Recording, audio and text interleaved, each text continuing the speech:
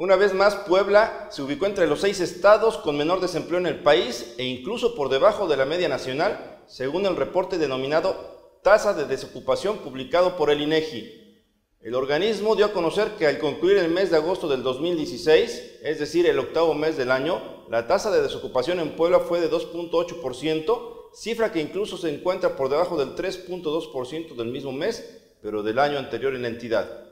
En las estadísticas del INEGI se menciona que los estados con menos personas desempleadas son Yucatán con el 2%, Guerrero con 2.1%, San Luis Potosí con 2.5%,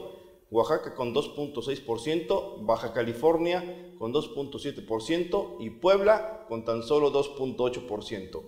En contraste, los estados que representan los indicadores más altos de personas desocupadas son Tabasco con 7.3%, Sonora con 6.0%, el Estado de México con 5.5%, Tamaulipas con 5.4% y Durango con 5.3%.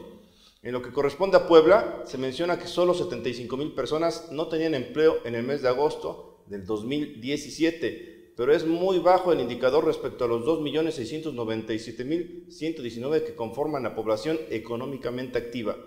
Cabe señalar que en el sexenio del gobernador poblano Rafael Moreno Valle han sido varios los periodos en los que el Estado ha presentado buenos indicadores en cuanto a los niveles de ocupación.